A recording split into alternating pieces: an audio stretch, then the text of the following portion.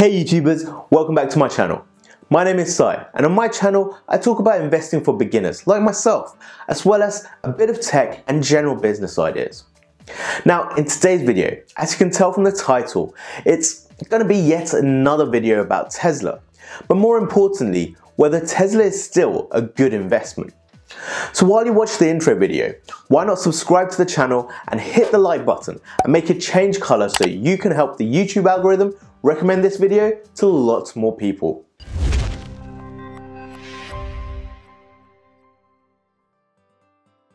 So, Tesla.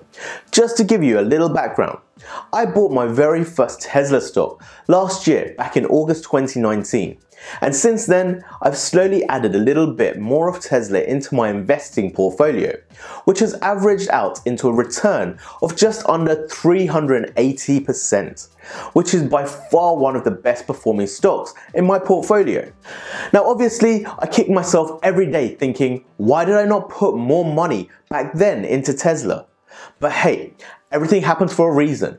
And I mean, some of the lucky people that probably invested even earlier than me and probably put a lot more money in than I did, they would have become millionaires from just buying Tesla stock alone because the stock price has actually increased 1,172% since it was first floated in November 2015. Now, the ongoing question with any investor is whether Tesla is actually worth the amount it is valued at currently. And the reason for this question is because at the beginning of 2020, Tesla was valued at $80 billion, but since then it has soared to have a valuation above $500 billion. And one of the recent reasons for Tesla to jump again was because the company was given news that they are going to be included into the S&P 500 index.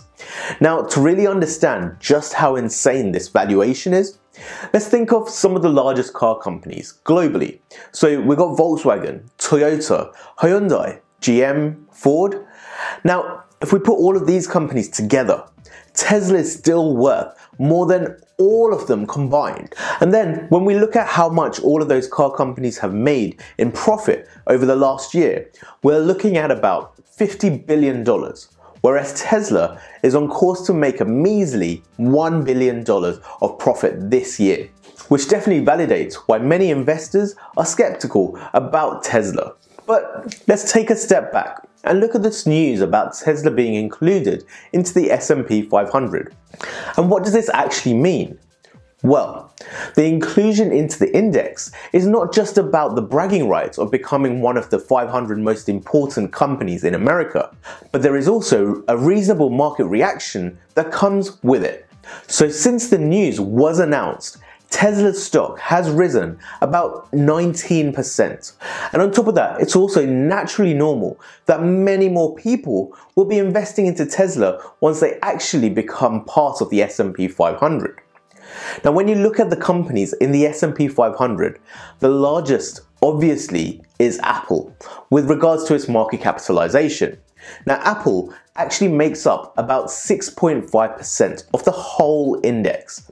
Now, with Tesla joining the index, it actually will be the largest company ever to be introduced into the index. Now, this is usually because other companies start off being smaller and then actually grow within the index itself. But even then, Tesla will only comprise of just a little bit more than 1% of the whole index when it actually joins on 21st of December.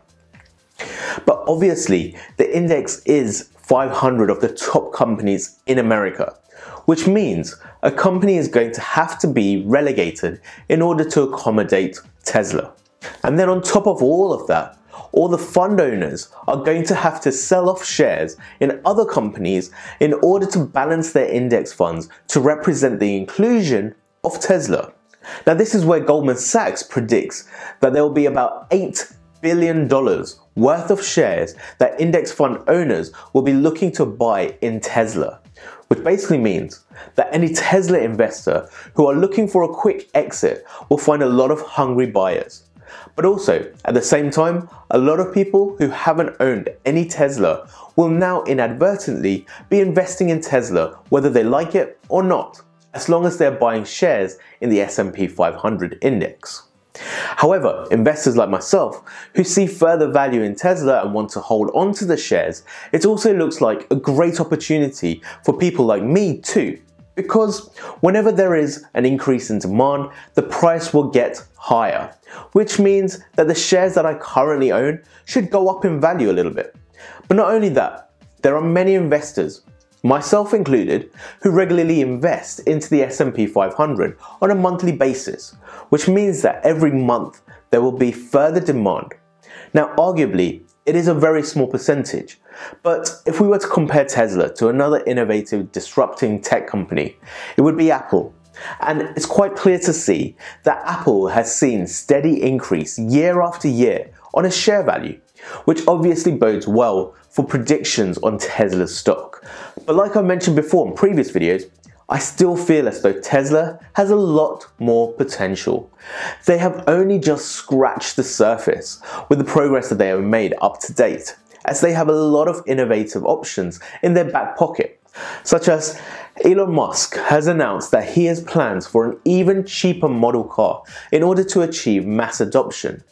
Now his plans for this at the moment is to create a car at the $25,000 mark and this is mainly to compete in the Chinese market where there is already a huge competition base of many other EV companies within the Chinese market. Now if Elon Musk has the ability to get a car designed and built within China, they have a huge opportunity to dominate the Chinese market as well.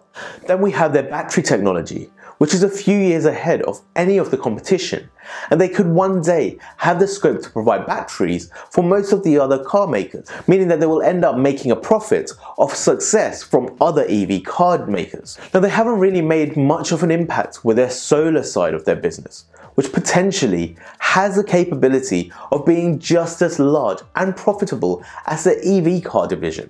Then Tesla also is pioneering the way for AI driving technology, which could easily be utilized into direct verticals, such as disrupting the taxi industry, the delivery industry. And they're already in the world of their semi trucks to disrupt the trucking industry. There's also been rumors of maybe electric planes and boats. Plus, Elon has mentioned many times before that his long term plan is to make our cars become an appreciating asset that makes money for us while we're not using them, rather than them becoming a depreciating asset that devalues over time. Now that's just a few of the things I came up with on the spot of what Tesla has in their back pocket. But there are lots of other opportunities as well that Tesla has in order to grow the company even further. Now going back to Tesla's valuation, we could compare it to other car companies, but that's not going to be really fair as Tesla has broken the boundaries of your standard perception of a car company and have taken their cars to a whole new digital world, making them more of a tech company than a car company. And up until recently, they were pretty much the only viable electric automotive company. But recently, all the other global car companies have seen the success of Tesla and have decided, or probably more likely forced to jump onto the bandwagon and create their own electric vehicles. And many of these brands already have a huge loyal customer base, therefore making them automatically a first choice for the new electrical future. But where Tesla has the upper hand is that they have been molding the industry by being the early adopters, therefore giving them the slight edge to be a step ahead of the competition. Now, even though I've mentioned a few great things about Tesla and the potential that they have and being the largest company to ever be included into the S&P 500, it still makes it quite hard to comprehend the ludicrous valuation of the company when compared to other companies in the automotive industry, no matter how much faith you have in Elon Musk or not. But as a disrupting innovative company, that has invested heavily up front to completely rewrite the way the industry is operated gives me a feeling of future greatness. But it's definitely a speculative feeling because there is no specific fact that I can present to you to justify why Tesla should be worth how much they are today. Personally, I've always been interested in Tesla from day one with a Lotus shaped Roadster to the time I test drove the Model S the first month it came out in the UK. And in general, following Elon Musk and understanding the drive that he has in order to achieve his ultimate goal of providing an affordable electric car that was feature rich enough to replace the petrol or diesel based cars of the world and witnessing the breakthrough innovations that Tesla has gone through from a factory manufacturing process to completely redesigning how the battery is built. I, for one, have the same feeling about Elon Musk that I have when you hear about some of the other previous visionaries like Steve Jobs and Walt Disney.